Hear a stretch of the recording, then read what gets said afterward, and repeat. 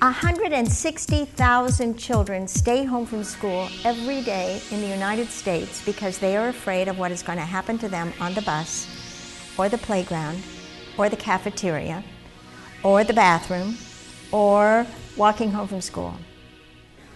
I can't begin to tell you how many children are showing up in doctor's offices with stomach aches, with headaches, sleep disorders. They can't concentrate on their schoolwork. They are so concerned about what is going to happen.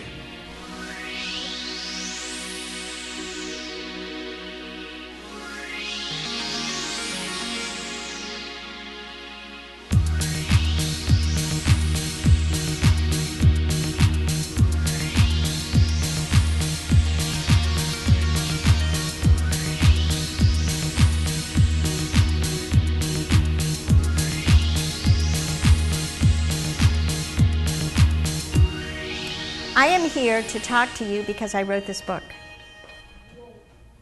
I believe that if anybody inflicts pain on someone else, it does not evaporate. Pain does not disappear. Pain collects. And after a while, if enough pain collects, it turns to rage. And then some children will take that rage and they will turn it inward and they will do things to hurt themselves.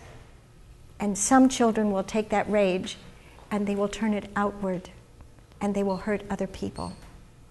So, what we have to focus on is how are we going to stop the pain? Okay, now, what I want to talk to you about is why some kids seem to get singled out to be picked on. And what kids will say to me is that people get picked on because they're different.